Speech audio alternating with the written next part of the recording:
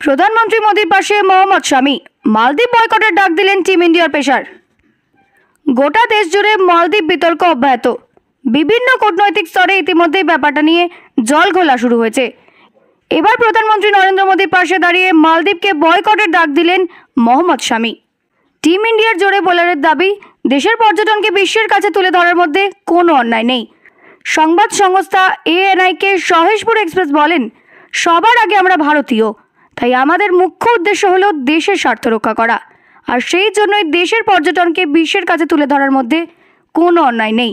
আমি এমনটাই মনে করি, আমাদের দেশের প্রধানমন্ত্রী সেটাই করেছেন এবং আমাদের ওনার পাশে থাকা উচিত। বিশ্বকাপের ফাইনালে অস্ট্রেলিয়ার কাছে ছ উইকেটে হারের পর টিম ইন্ডিয়ার ড্রেসিং রুমে এসেছিলেন মোদি। বিরাট কোহলি, রোহিত শর্মাকে সান্ত্বনা দেওয়ার পর বুকে জড়িয়ে ধরেছিলেন স্বামীকে। আর এবার সেই স্বামী দেশের প্রধানমন্ত্রীর পাশে দাঁড়িয়েছেন। ঘটনার সূত্রপাত নরেন্দ্র মোদীর লাক্ষাদ্বীপ সফর থেকেই। সেই সমুদ্র সৈকতে প্রধানমন্ত্রীর রঙিন মেজাজের ছবি দেখে মালদ্বীপের নেতামন্ত্রীরা কটাক্ষ করতে শুরু করেন। শুধু তাই নয়, ভারতের সমুদ্র সৈকতগুলোকে নোংরা, দুর্গন্ধে ভরা বলেও বিদ্রুপ করেন। ওই মন্ত্রীদের বরখাস্ত করা হলেও ভারতীয় নেটিজেনদের রাগ কিন্তু ছাই চাপা আগুনের মতো চলছে আর সেই পরিপ্রেক্ষিতেই Amitabh Bachchan, Akshay Kumar, Tiger Shroff, John Abraham থেকে শ্রদ্ধা কাপুরের মতো তারকারা মালদ্বীপের ওই মন্ত্রী বিতর্কিত মন্তব্যের শুধু প্রতিবাদী করেননি, বরং ভারতীয় ট্যুরিজমের প্রচারও করেন।